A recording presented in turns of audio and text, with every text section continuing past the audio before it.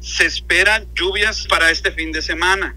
A las alertas tempranas que va a estar emitiendo eh, la misma Conagua para efecto de ver el acercamiento de este sistema y darle pues el tratamiento que corresponda.